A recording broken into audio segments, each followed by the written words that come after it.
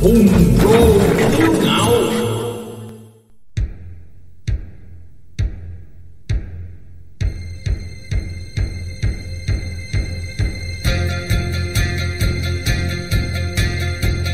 gặp một khối căm hờn trong giãn cách.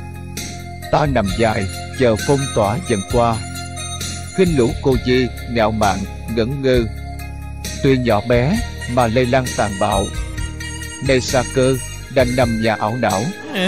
Để chờ ngày được chích vaccine chiều ngang hàng cùng bọn nhóc vợ hơi với cặp gió nhà bên vô tư lự.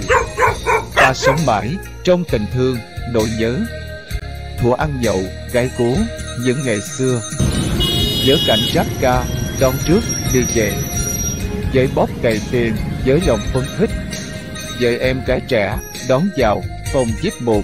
Mời anh vào. Ta bước chân lên dõng dạc đường hoàng.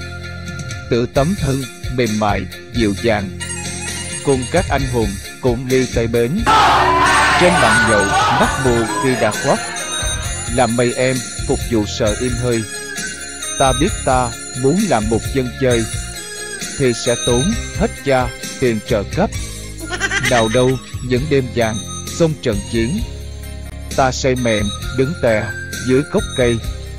Đâu những ngày, mưa chuyện bốn phương ngàn. Ta lại hút, tô cháo ngon xì sụp đâu những bình minh, cây xanh đáng cội. Mấy anh em, quán cốc ta hay ngồi. Đâu những chiều, nắng nóng như trong nồi.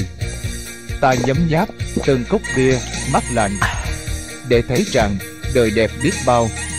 Tha hồi thời quan liệt. Này còn đâu